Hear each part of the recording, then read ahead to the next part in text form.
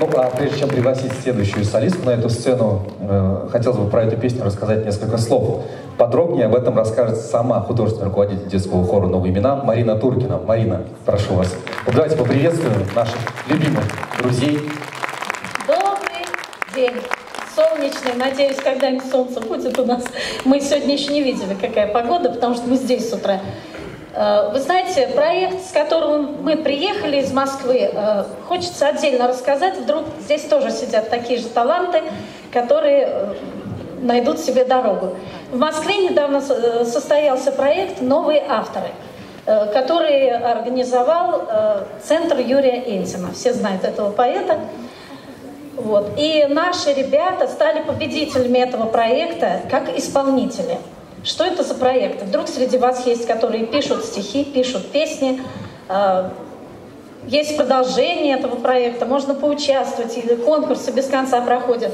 Так что мы приглашаем вас. И э, сегодня мы покажем несколько песен, которые написали дети. То есть новые авторы — это дети. Дети-композиторы, дети-поэты, дети-исполнители. Наши, конечно же, поют, но приехав с этого проекта, они сказали, мы начнем писать. Вот прошло две недели. Написала уже песню. Еще пока нет, нет времени, но впереди лето, и оно, конечно, всех вдохновит. Ну и сейчас песня «Белая ворота, э, ворона», «Белая ворона». Э, автор, э, они уже все подружились в Москве, из Екатеринбурга. Парни как зовут? Даниил Жмаканов. Да, 16 лет парню. Вот сейчас споем такую песню «Белая ворона».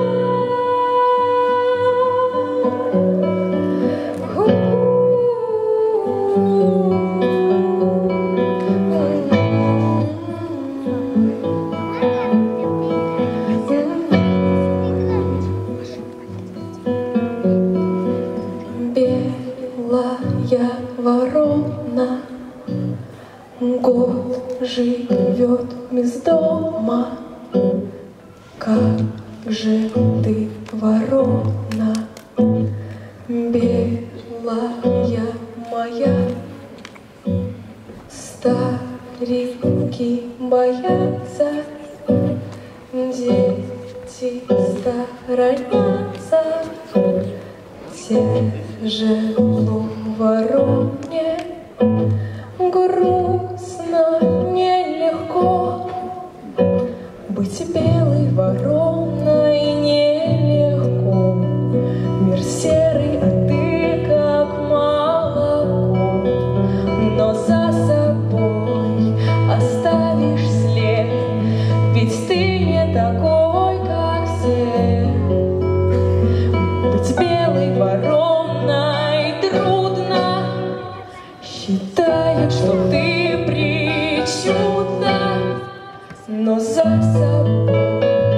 Оставишь след, ведь ты не такой, как все.